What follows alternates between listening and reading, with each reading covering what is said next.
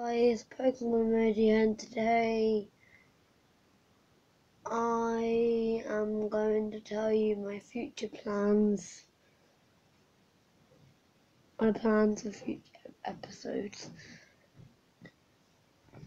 Well, first thing I want to say, say a message to Freddy Fazbear.